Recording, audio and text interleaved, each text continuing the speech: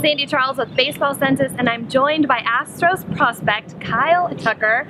Okay, we cannot talk about it and have an interview without asking not only draft day, but you were drafted by the same team your brother was drafted by. What was that like? Uh, it was awesome. Um, I mean, he was playing during the draft, but they had a rainout, so he was able to go back in the locker room and congratulate me, and you know having that was awesome. And you know, being in the same organization, I can see him a lot more uh, during spring training, and I can keep up with them a little bit easier during the season. So it's awesome. How much do you talk during the season? Um, not that much. Um, we kind of just do our own thing, but you know, I'll, I'll keep up with him. He could, keeps up with me, but um, I'll talk to him every now and then. What kind of advice has he been able to give to you? Um, it's just you know, don't try and you know impress everyone. Yeah. Um, just go out and do your own thing, and you'll, you'll be fine. Now you went to the same high school that Wade Boggs went to. How cool was that? What was that like going to a high school where a Hall of Famer went? Yeah, it's kind of cool. There's a plaque um, right next to the dugout of him, and you know that's kind of awesome. You can see that every day. And then he coaches at one of the high schools we played, so you know we got to see him whenever we played them. So it, it was kind of cool. Now, is it true? Correct me if I'm wrong. You were compared to Ted Williams in high school. Is that true? Um, I've heard that. Yeah. Um, I guess.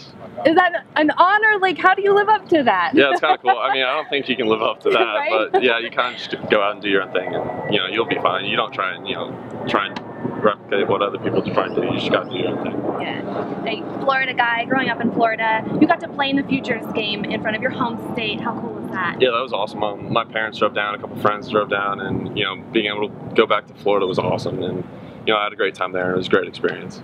Now, you showed some tremendous power last season 25 home runs. Did you change anything about your swing? Um, I just try to you know get back to what I normally do, and just try and drive the ball and hit the ball in front, and you know, be early, and you know, it worked out. Is there anything at Arizona Fall League that you're looking or hoping to work on?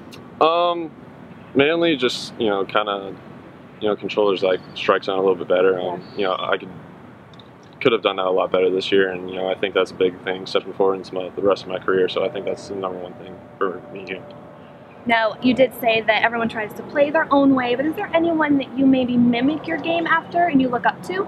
Um, mostly my brother. Yeah. Um, you know, I, I've watched him, you know, his whole time playing. And, you know, I've been around him the most, and you know, he's had success. So why not try and you know, kind of incorporate some of his game into mine? So you know, that's kind of the you know biggest person I kind of model myself after.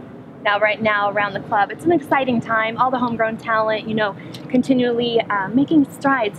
Are you continually watching and keeping up with the games right now? hmm Yeah, I mean, we'll we have TVs in here watching the postseason, so Yeah. we'll, we'll keep up with them. And I'll see them on Twitter, the post feeds and stuff. And so, you know, it's awesome watching them play. And you know, the Astros are doing well right now, but um, you know, hopefully they can get to the World Series. Hopefully, they can finish it off. Thank you so much and best of luck at AFL.